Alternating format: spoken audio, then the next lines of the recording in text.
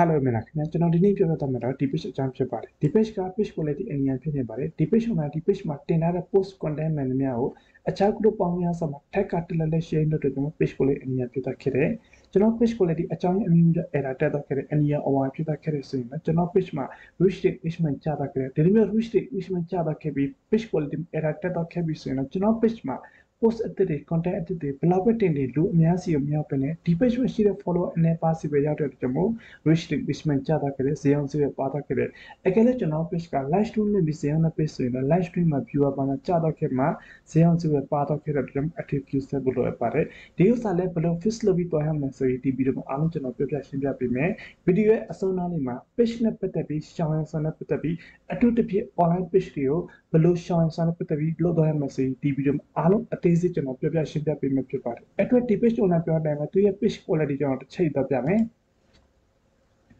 ဒီမှာတစ်ချက်ကြည့်မစေဘာ statement မှာပဲ page ကိုလည်းအနည်းဖြစ်တာဖြစ်တယ်ဒီလိုမျိုးအနည်းဖြစ်တာအကြောင်းရဒီ page owner လည်းပြောတယ်သူ page မှာတင်ထားတဲ့ post content တွေများ live stream တွေများကို page admin ကိုလည်းအခြား group ပေါင်းများစွာမှာ tag ကတလည်း sharing လုပ်ပြီးသွားတယ်လို့ပြောတယ် တကယ် page ကိုစစ်ကြည့်တော့တကယ် share လုပ်တဲ့အတွက်ဒီ post အတိုင်း page ကိုလည်းအမြင်ပြတ်ခဲ့တယ်တကယ်လို့ကျွန်တော်တို့အခြား Chrome browser အခြား WhatsApp တနေရာ tab point download ဆိုပြီးကျွန်တော် page မှာတင်ပြီးသွားမယ်ဒါမှမဟုတ် video ဘာညာ download ဆိုပြီးတင်ပြီးသွားမယ်ဆိုရင်ကျွန်တော်ဒီနေ့မှာ straight report လာပြီးမှ page ကိုလည်းအမြင်ပြတ်ခဲ့အခုကျရိုးရိုးအမြင်ပြတ်ခဲ့တယ်ကျွန်တော်ပြုပြင်ရလွယ်ပြတ်တယ်ကျွန်တော်အားလုံး step by step လုပ်ပြီးကျွန်တော်ပြပြပေးမယ်ဒီ page ကအခုမှ page quality အမြင်ပြတ်ခဲ့တယ်လို့ကျွန်တော်သူရဲ့ page recommendation ကျွန်တော်တစ်ချိန်ပြပြမယ်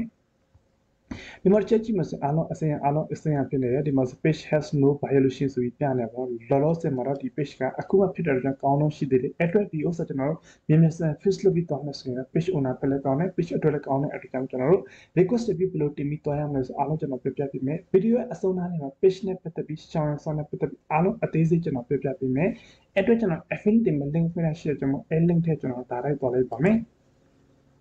ကျွန်တော် product step အနေနဲ့ကျွန်တော်ဒီနေ့ရောက်ပြီဆိုရင်ကျွန်တော် page URL နဲ့ကျွန်တော်တစ်ချက် copy ကူးပြီးသွားရမယ့်အတွက်ကြောင့်မို့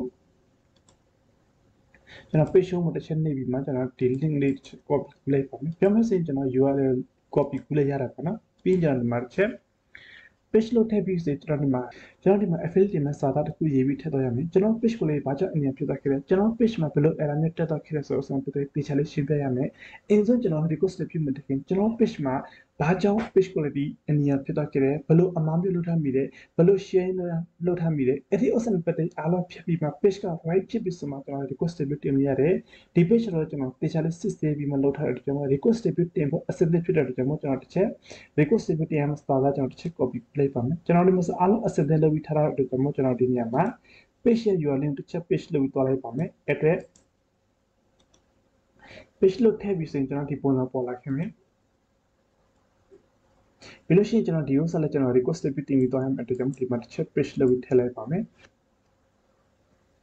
ပြီးတော့ခဲ့ပြီးစရင်ကျွန်တော်ဒီစာသားလေးကျွန်တော်တစ်ချက် copy ကူပြီးတော့ဒီမှာ page URL link နဲ့ပါတယ်ကျွန်တော်တို့မှာဖြစ်ရတဲ့ issue နဲ့ပတ်သက်ပြီးအားလုံးကျွန်တော်တေချာလေးရေးပြီးထည့်တော့တဲ့အတွက်ကြောင့်ဒီစာတစ်ချက် copy ကူပြီးမှ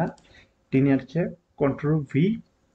ပြီးလို့ရှိရင်ကျွန်တော်ဒီ page quality အညာဖြစ်တဲ့ screenshot ယူရမယ့်အတွက်ကြောင့်မို့သူရဲ့ page quality ချက်ပေါ့မယ် video skip လုပ်ပဲကြည့်တာပြီးတော့တချို့ချက်ရှိရဲ့ video skip လုပ်ပြီးတော့ကျွန်တော်သူတို့ကိုယ်တိုင်နားမလဲပဲနဲ့ဖြစ်တဲ့အတွက်ကြောင့်မို့သူတို့ကိုယ်တိုင် tuition နဲ့အခက်အခဲများစွာကြုံတွေ့ရတဲ့အတွက်ကြောင့်မို့ video ဆုံးအောင်ကြည့်တော့ပေးပါဘယ်နေရာမှာဘယ် point ကိုကျွန်တော်ပြောပြီးတော့ခဲ့တဲ့ဆိုတော့တေချာလေး map ပြီးသွားပေးပါနော်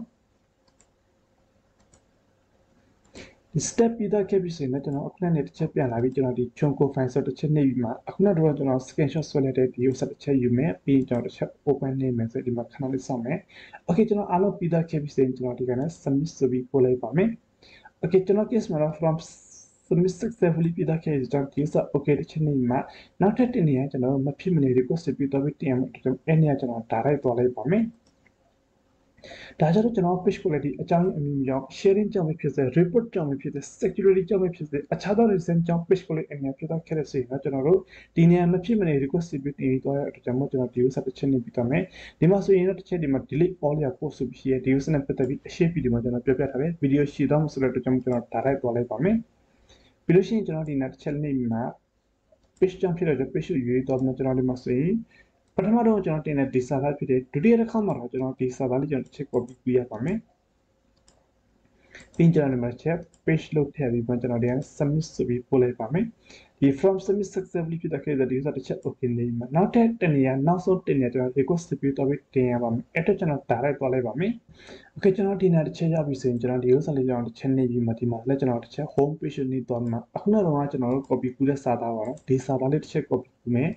ပြီးရင်ကျွန်တော်ဒီနေရာတစ်ချက်ပြန် page load ထည့်မယ်ထည့်ပြီးဆိုကျွန်တော်ဒီမှာဖြစ်ရတဲ့ screenshot ကျွန်တော်တစ်ချက်ထည့်မှာပေါ့နော် page quality အနေနဲ့ဖြစ်တဲ့ screenshot တကယ်လို့ short video file လေးဆိုလည်းအဆင်ပြေတယ်ကျွန်တော် screenshot ပဲပို့ပြီးအဆင်ပြေတယ်ကျွန်တော် screenshot ထည့်ပြီးမှကျွန်တော်ဒီမှာ submit ဆိုပြီးနေပြီးတော့လိုက်ပါမယ် okay ကျွန်တော်အားလုံး request dispute တင်လို့ပြီးသားခဲ့ပြီဆိုရင် page နဲ့ပတ်သက်ပြီး challenge ဆန်းနဲ့ပတ်သက်ကျွန်တော်ပြောပြပေးမယ်ကျွန်တော်ဒီလိုမျိုး request dispute တင်လို့ပြီးသားခဲ့ပြီဆိုတိတ်မကြခင်မှာကျွန်တော် page မှာ reach engagement တက်တာကမှာ reach engagement တက်ပြီဆိုရင်နောက်တစ်ပတ်နေလို့ရှိရင်ဒီ page ပြန်မှာ page အခြေအနေကြည့်ပြီးကျွန်တော်ပြန်မှာ request dispute တင်ပြီးတော့ရပါမယ် Facebook team နဲ့ direct လုပ်ရင်လုပ်တော့ရမှာပေါ့နော်အဲ့လိုလုပ်ပြီးဆိုရင်ဒီ page ကပြန် save တော့ခင်မှာ save တော့ခဲ့ပြီဆိုရင်ဒီ page ကိုကျွန်တော်ဒီ screenshot လေးနဲ့ကျွန်တော် page ကျွန်တော် channel မှာ live group အနေနဲ့ကျွန်တော်တင်လို့ပြီးမှဖြစ်ပါတယ်ကျွန်တော်ဒီနေ့တခုပြောချင်တဲ့ဒီ OS page တွေများတော့ဒီအမှားကြတော့သူတို့ page မှာတင်ထားတဲ့ post content တွေများသူတို့ကိုယ်တိုင်ဒီ reach မရဘူးထင်ပြီးမှသူတို့ကိုယ်တိုင်အခြား group ပေါင်းများစွာမှာ tag ကတည်းက sharing လုပ်ပြီးတော့တယ်အခု sharing လုပ်အခုချက်ချင်းကျွန်တော် page issue မလာပြီးမှနည်းနည်းကြာလို့ရှိရင် reach engagement ကျပြီးမှ page ကိုလည်းအနည်းဖြစ်သွားခဲ့တယ်နောက်တစ်ခုကကျွန်တော်ဗီဒီယိုကြည့်တဲ့လူတွေကသူတို့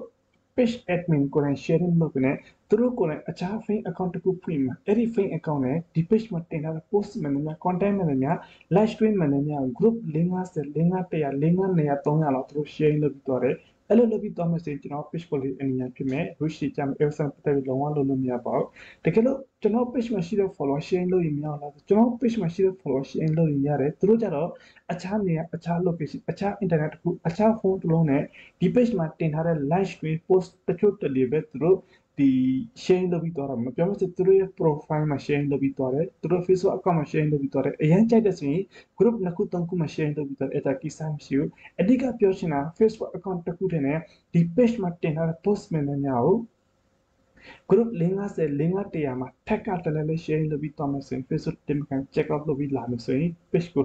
ထိနေတယ် page ကိုလည်းအနည်းငယ် over အောင်ဒါမှမဟုတ် suggest မှာပြထုတ်နိုင်တဲ့အကြောင်း ASM ပတ်သက်ပြီးလုံးဝလုပ်လို့မရပါဘူးနောက်တစ်ခုကျရှယ် live stream ပေါ့နော်ကျွန်တော် live stream တွေ့နေချိန်မှာ page admin page owner ဖွင့်ကြည့်လို့ရတယ် comment ပါနေ reply ပါအားလုံးလုပ်တော့လို့ရတယ် live stream တွေ့လို့ပြီးသားခဲ့ပြီဆိုရင်ကိုတင်တဲ့ live stream ကိုကိုယ်တိုင်ပြန်ဖွင့်ကြည့်လို့မရဘူးဖွင့်ကြည့်ခြင်းအဖြစ်ကျွန်တော် live stream ကိုကျွန်တော်ကိုယ်တိုင် view to on လုပ်တဲ့ engagement to on လုပ်တဲ့ဆိုမှာ Facebook team က error တစ်ခုမှတစ်ခုပေးတဲ့အတွက်ကြောင့်မို့တကယ်လို့ live stream လုပ်လို့ပြီးသားခဲ့တယ်ကျွန်တော်တို့ comment ဖက်ချင်တယ်ဘယ်လို PC ဘယ်လောက်မှာတာအဲဒါ teach နေဆိုကျွန်တော် laptop ဆိုရင်အရင်လွယ်တယ်ပေါ့နော်ဒီကျွန်တော်အောက်ကဒီ comment တွေတစ်ချက်နှိပ်မှာ comment ပါနေဖက်သွားရတယ်တကယ်လို့ဖုန်းသမားပါညာဆိုလို့ရှိရင်ကျွန်တော်ဒီ